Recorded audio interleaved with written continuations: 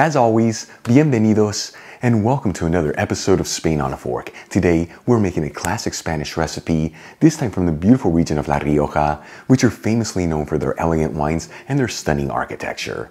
Anyways, we are talking bacalao a la riojana. This dish is basically cod that you fry in extra virgin olive oil, and then you finish it off in a chunky sauce that's filled with so many amazing depths of flavors. Folks, not only is this recipe very easy to make, but it comes together in about 30 minutes, making it the perfect dish for a busy weeknight dinner or even for a relaxed weekend lunch. Either way, make sure to serve this dish next to a bottle of Spanish wine from the region of La Rioja and a crunchy baguette to mop up all that goodness. Alright, let's begin by getting our ingredients ready. I'm going to thinly slice one medium-sized onion, thinly slice four cloves of garlic, and cut two jarred roasted red bell peppers into thin strips. If you can't find jarred roasted peppers in your area, you can just roast your own at home. You'll find a link on how to do that in the description box below. Then we'll finely grate six tomatoes to end up with about one and a half cups of tomato sauce, which is 360 grams. Of course, you can skip this step and just use canned tomato sauce or even passata, but let me tell you, by finely grating fresh tomatoes is what gives this dish that authentic Spanish touch and we'll add in two cod fillets over some paper towels and pat them completely dry. The size of each fillet is 8 ounces, which is about 250 grams. And I did buy the cod frozen and thawed it out just to make things easier and cheaper. Of course, you can also use fresh cod here if you like, or any other type of firm white fish.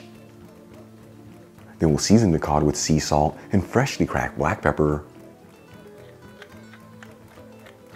And we'll coat the fillets in some all-purpose flour making sure to evenly coat them all around. And let me tell you, by taking this step, it's not only going to give the fish a beautiful crust in the outside, but it's also going to ensure that it stays nice and moist and that it doesn't fall apart once it's cooked. For the next step, I'm going to grab a large fry pan, heat it with a medium heat, and add in a quarter cup of extra virgin olive oil, which is 60 milliliters. Once the oil is nice and hot, but it's not smoking, we'll add in the cod fillets into the pan. And we're gonna go for about two minutes per side here. And at this stage, you don't wanna fully cook the cod fillets through, just go for a few minutes or until they're lightly golden fried.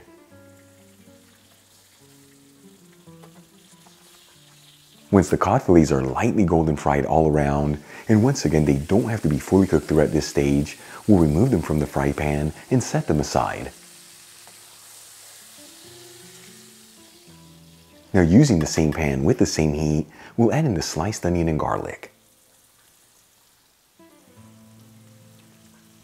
And we'll mix the vegetables around, that way they're coated in that olive oil. And since we cut the onion and garlic into larger chunks, you don't have to mix this continuously, but do get in there every minute or so, that way everything evenly sautés.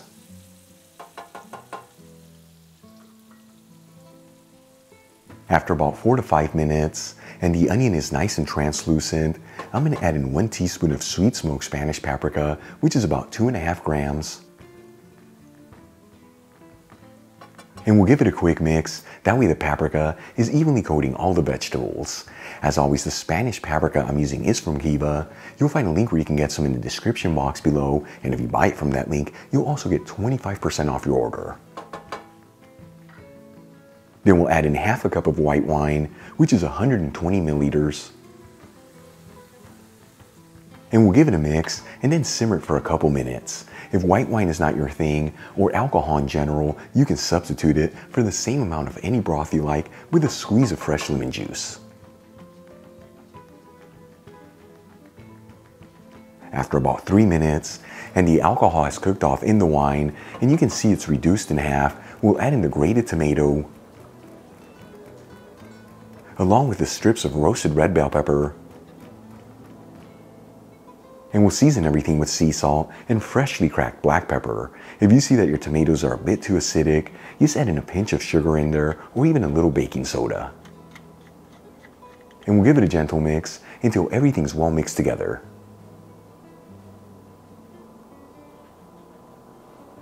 Then we'll add in two bay leaves and then simmer it for about 10 minutes on a medium heat. That way the tomato sauce can slightly thicken up and all the flavors can develop. After about 10 minutes, and you can see the grated tomato has slightly thickened up, we'll add in the cod fillets back into the pan.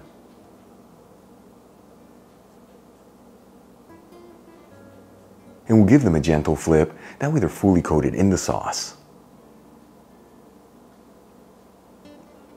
Then we'll place the lid on the pan and we're going to continue to simmer this for another two to three minutes or until those cod fillets are fully cooked through.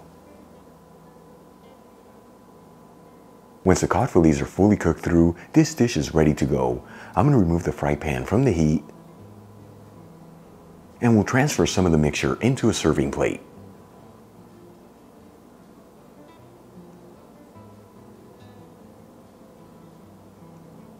And for the final touch, we'll garnish it with some fresh parsley. Check it out, bacalao a la riojana, a beautiful Spanish cod dish from the region of La Rioja.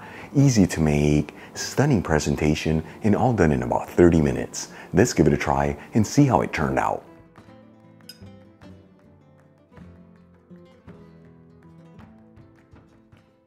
Once again, folks, bacalao a la riojana. Check how beautiful this turned out.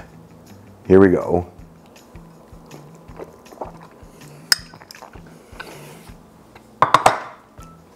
That was a very greedy bite. Uh, first things first, the cod is beautifully cooked through, held its shape, but it just melts in your mouth. The importance of uh, flouring it before you cook it, and then all the vegetables with the paprika, the white wine, explosion of so many flavors. Folks, you saw this easy to make, done in about 30 minutes. In my opinion, truly one of the best fish recipes from Spain, if not possibly the entire world because it is that good. Really quick before I go, a shout out to a couple of my patrons, Don Dayan, Hel Gonzalez, and Dar Morathini. And guys, thank you so much for being patrons of Spain on Fork. You know how much I appreciate you. If you enjoyed today's video, hit that like button, uh, leave me a comment below, and if you're not subscribed, don't forget to smash that subscribe button and click on the bell icon. That way you can get notified every time I release new content and to become a part of the Spain on Fork family. Till the next time, hasta luego.